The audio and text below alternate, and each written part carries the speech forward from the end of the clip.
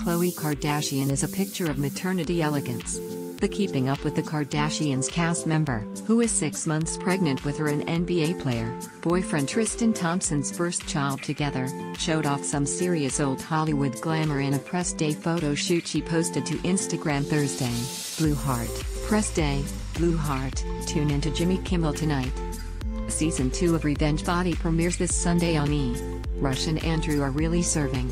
The Leagues, Blue Heart, a post shared by Khloe at Khloe Kardashian, on Jan 4, 2018 at 8.19 p.m. PST in the press day photo she posted, the 33-year-old is serving up some classic looks in a navy silk gown and matching jacket, with softly curled hair, minimal accessories and a bold red lip. Kardashian is definitely not rocking the everyday maternity style this pregnancy, which is exactly how she likes it. For months, she hid her growing baby bump in baggy hoodies to avoid confirming the news too soon, and it's apparent that since letting the cat out of the bag, she's loving showing off her curves. The Good American designer appeared on the Ellen DeGeneres show in her first interview since confirming her pregnancy earlier Thursday in a white cocktail dress and duster, sharing that she doesn't plan to start dressing in maternity clothes anytime soon. That's not really maternity clothes, is it?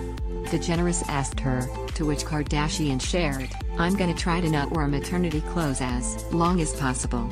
When asked if she was feeling any sickness, Kardashian admitted that the first trimester was the hardest for her. At the beginning, the first trimester is the worst and no one knows you're pregnant yet and you feel the most uncomfortable, she said. I think once people know you're pregnant, you get all the excuses. Hopey I look pregnant, not just fat. It's hard for me to breathe right now. Any discomfort wasn't due to her figure-hugging dress, however, the baby is on all my organs so I get out of breath just from walking, she